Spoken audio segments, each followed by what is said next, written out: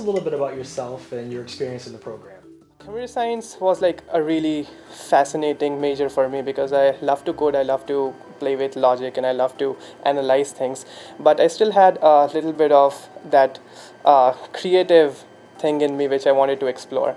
So I wanted to explore my creative side, and that's when I got to know about HCI. It is where I could link technology with something creative. So the confluence of kind of technology and creativity for the good of the society is what uh, drew me to HCI, and uh, that's that's why I'm here. So I like to work with digital fabrication and this is what this lab is all about. Uh, digital fabrication essentially means uh, taking a piece of technology which could be a hardware or software and kind of embedding it into everyday things. It could be a piece of cloth, it could be uh, your watch, uh, just about anything where you can embed technology is uh, digital fabrication. So you, you kind of take the digital uh, computational part and put it into something static or mechanical. And when they fuse together to form something meaningful, it's uh, digital fabrication. So in order to accomplish that, you need a lot of hardware background or hardware skills. So this is where uh, the hardware skills come in.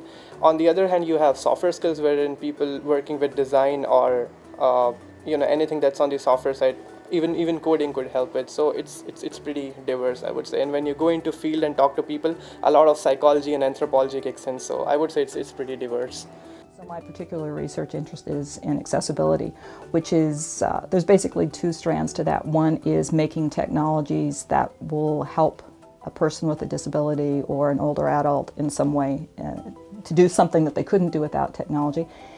It's also trying to make mainstream technologies the kind of thing you would just go out to the store and buy, how to make these mainstream technologies usable by people who have a disability because often developers of devices and software don't think about people with disabilities in their designs.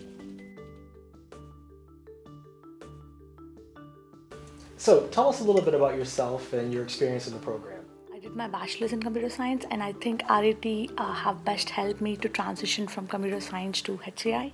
So uh, we do a lot of research here and people are from multidisciplinary background. So a lot of people here are from computer science, psychology, electronics. Everyone come and do HCI here. I think that's the best part of uh, the uh, the program here. Like people are from multidisciplinary backgrounds and we get to learn a lot from each other. Uh, this year I was interning at IBM first and then Kodak Alaris and Slack Technologies in SF.